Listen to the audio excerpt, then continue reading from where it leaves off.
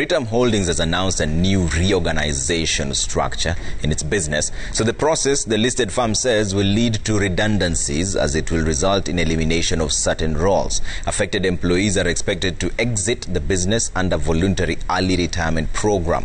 The reorganization of firm's operations is the result of a business strategy review spearheaded by the board for the period of 2021-2025.